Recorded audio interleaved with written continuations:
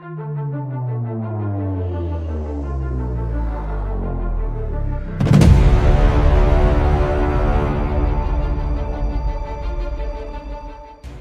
you think there's words spoken by Jesus in the Bible that completely refute and debunk Calvinism? Well, there are. I'm going to share two of them, two of them with you today. Two Bible verses, extremely well known, both of them. You'll recognize them. I'll share and show it on the screen as well. And we're going to read through and I'll explain to you why, if these words of Jesus are true, and I wholeheartedly believe that they are true, I hope you believe with me that all the Bible is true. If they are true, Calvinism is definitely false. But if Calvinism were true, then the words of Jesus cannot be true. We're going to start with the first one John 14, verse 6. Everyone's heard this, I think, right? Jesus saith unto him, I am the way, the truth, and the life.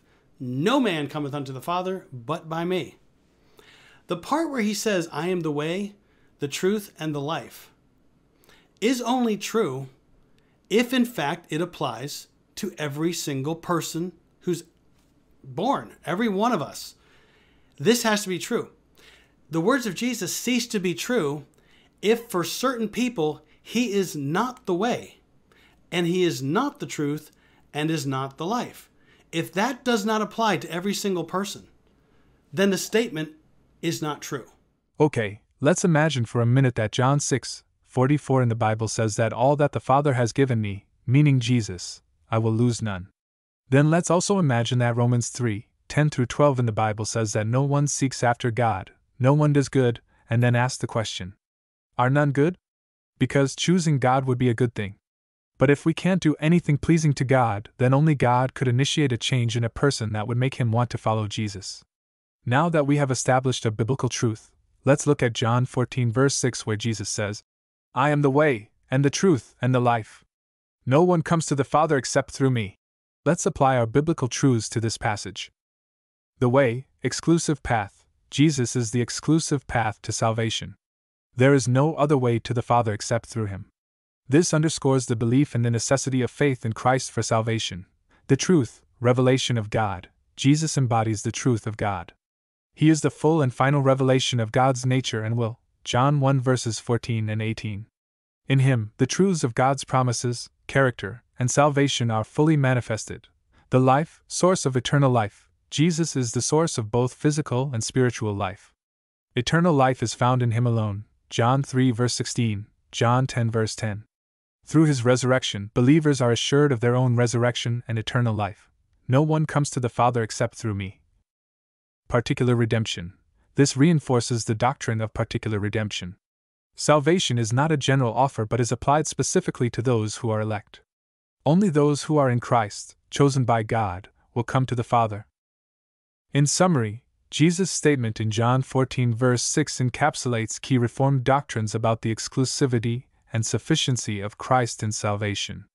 It highlights the necessity of faith in Jesus as the only way to God, the absolute truth found in Christ alone, the gift of eternal life granted through union with Christ, the particular nature of redemption and God's sovereignty in electing His people. This understanding reinforces the central Reformed belief in salvation by grace alone, through faith alone, in Christ alone. Let's move forward and expose this wolf in sheep's clothing and show just how much of a false teacher this man is. For everyone, up until the moment the elect are given irresistible grace and given faith to believe in Christ, as a byproduct of their irresistible grace by the Holy Spirit, regenerating them and then giving them faith, right? For everyone else, they are stuck forever in their life, right, in the state of total depravity, which means total inability, an inability to believe the gospel and to receive the gift of God's grace. They cannot do that according to Calvinism. The message of the gospel is perceived as foolishness by those who are perishing, as explained by Paul in 1 Corinthians 1 verse 18. 1 Corinthians 1 verse 18. For the word of the cross is folly to those who are perishing, but to us who are being saved it is the power of God. So the gospel is foolish, no one seeks after God, no one does good. Do we see a pattern about the state of mankind according to the Bible? Let me go to the next one. Mark 16. There's different versions in the Bible of the Great Commission Jesus gave us to go preach the gospel. And here's a simple one verse version of the Great Commission in the Gospel of Mark chapter 16, verse 15, and he said unto them, Go ye into all the world and preach the gospel to every creature. Well, once again, this is if the gospel is not available to the non elect, and it's really not up to them to choose or reject, and it's on them, they're accountable to God for their decision. If that's not the case, but in fact, God's already decreed and determined their decision, and they cannot receive the good news of the gospel, then it's not good news for them. Let me go to the next one. Every Calvinist believes in the Great Commission. We are commanded to preach the gospel to everyone. It's not up to us to preach so that we can save people. Instead, we proclaim the gospel not knowing who the elect are. It is God using us as a messenger. God has to remove the heart of stone before someone can believe. A Calvinist has a 100% success rate because it is God working through us and in us. The non Calvinist has to hope what he said to the non believer was enough to change him. And I'll put it back on the screen. Revelation 22 17. Maybe you're familiar with it. And the Spirit and the bride say, Come. And let him that heareth say, Come. And let him that is athirst come. And whosoever will, let him take the water of life freely. That's an open invitation to everyone. No one's rejected out of that. No one's incapable of doing that. It's an offer made. And let's just go back to the beginning. And the Spirit and the bride. Who is the Spirit and the bride? We have the Holy Spirit, and we have the bride of Christ. We have the Holy Spirit, who is God, God the Father, Jesus Christ the Son, the Holy Spirit, the Trinity, the three, the Godhead, three co equal persons of the Godhead, and the Holy Spirit doing work in the world to convict the unbeliever of their unbelief so they'll believe in Christ, is, is active in the world but people can quench the Holy Spirit and reject the message. And so the Holy Spirit says, Come to everyone, regardless if they accept or reject. That's on them, they're accountable. And the bride, see, God, the, the Calvinist says, God doesn't cooperate with man. But in fact, God has given us the great privilege to cooperate with Him in delivering the good message, the good news of the message of the gospel. Jesus has given us the Great Commission and said, "Go do this." Again, let's apply our learned biblical truths. No one seeks God. No one does good. The gospel is foolish to the unbeliever. So, what is Revelation 22, verse 17 saying?